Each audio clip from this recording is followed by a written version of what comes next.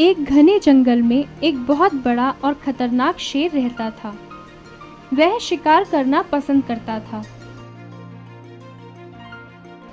वह रोज एक या दो नहीं, बल्कि बहुत सारे जानवरों को खाता था।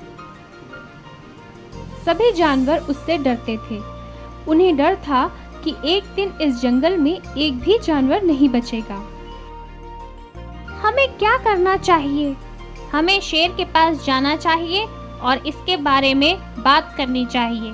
इसीलिए डरे हुए जानवर धीरे धीरे शेर की गुफा की तरफ़ बढ़ते रहे। उन्हें देखकर शेर आश्चर्यचकित हो गया। तुम सब यहाँ क्यों आए हो? क्या बात है?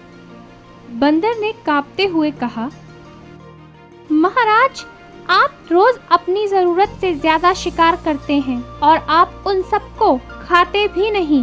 जिसके कारण जंगल में बहुत कम जानवर बचे हैं। क्या आप जानते हैं कि यह कितना खतरनाक है? कैसा खतरा? शेर बोला अगर ऐसा चलता रहा तो सिर्फ़ आप ही जंगल में बचेंगे।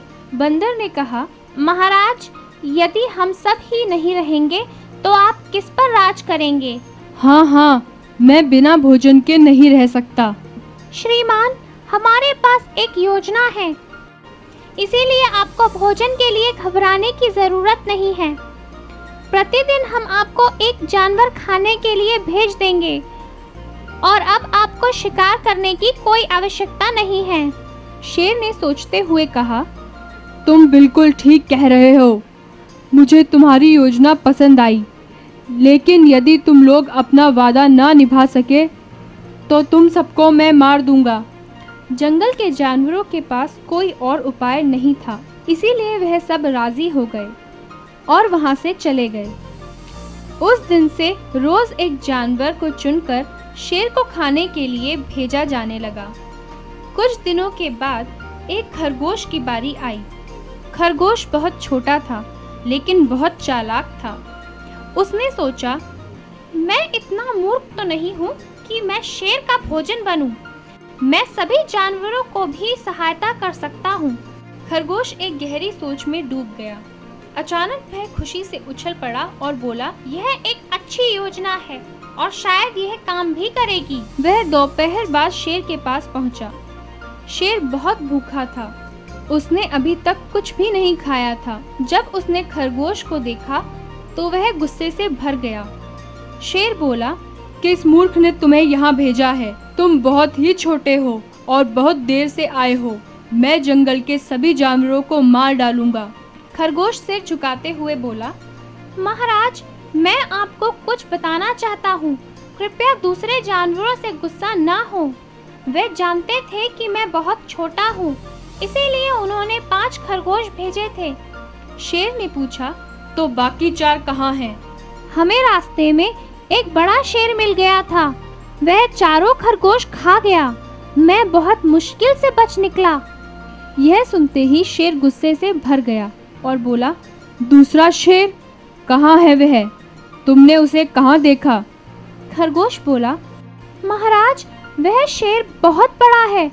वह एक गुफा में रहता है, जो कि ज़मीन में काफ़ी गहरी है। वह मुझे भी मारना चाहता था, लेकिन मैंने कहा, श्रीमान आप चार खरगोश खा चुके हैं जो कि हमारे महाराज का भोजन था।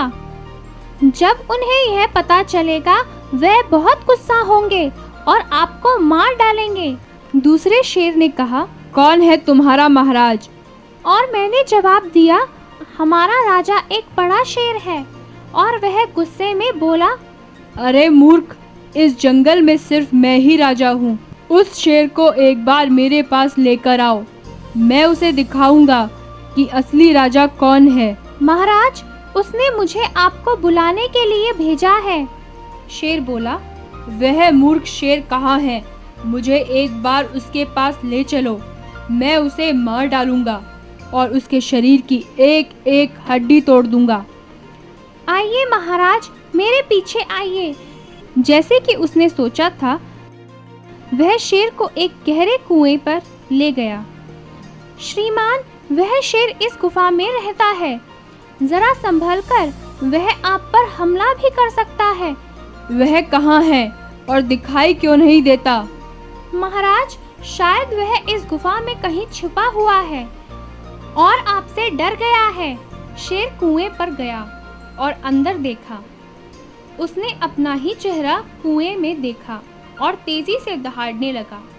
उसने सोचा कि वह कोई और शेर है और तभी वह अपनी परछाई को दूसरा शेर समझकर उसे मारने के लिए कुएँ में कूद पड़ा। वह गहरे पानी में गिर गया और मर गया।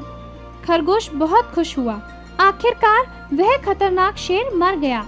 जब दूसरे जानवरों ने यह सूचना सुनी तो वह खुशी से इस कहानी से हमें यह शिक्षा मिलती है कि आदमी शक्ल से नहीं, अकल से बड़ा होता है।